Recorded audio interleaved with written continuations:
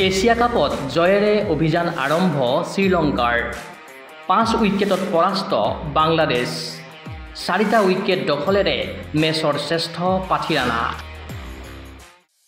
বাংলাদেশৰ বিৰুদ্ধে জয়েৰে এছিয়া কাপত অভিযান আৰম্ভ কৰিছে শ্ৰীলংকাই।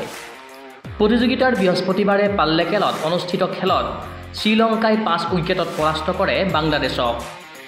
ল' স্ক'ৰিং মেচখনত মাত্ৰ এশ পঁয়ষষ্ঠি ৰানৰ লক্ষ্য সন্মুখত লৈ শ্ৰীলংকাই ঊনচল্লিছ অভাৰত পাঁচটা উইকেট হেৰুৱাই নিৰ্ধাৰিত লক্ষ্যত উপনীত হয়। দলৰ জয়ত গুৰুত্বপূৰ্ণ অৱদান আগবঢ়ায় শ্বৰীত আচলংকাই তেওঁ বিৰান্নব্বৈটা বলত পাঁচটা চাৰি আৰু এটা ছয়ৰ সহায়ত বাষষ্ঠি ৰানত অপৰাজিত হৈ থাকে। চদিৰা চামাৰা বিক্ৰমাই দললৈ চৌৱন্ন ৰানৰ অৱদান আগবঢ়ায়। তেওঁৰ সাতসত্তৰটা বলৰ ইনিংছটোত আছিল ছটা বাউণ্ডেৰী। ইয়াৰ বাহিৰে দলৰ আন কেইজন বেটাৰৰ প্ৰদৰ্শন আশানুৰূপ নাছিল।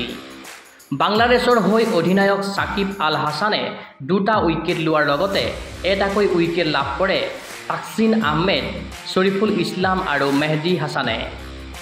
ইয়াৰ আগেয়ে প্ৰথমে বেটিং কৰি শ্ৰীলংকাৰ বলিং আক্ৰমণৰ সন্মুখত বিয়াল্লিছ দশমিক চাৰি অভাৰত বাংলাদেশে মাত্ৰ এশ চৌষষ্ঠি ৰানতে ইনিংছ সামৰে।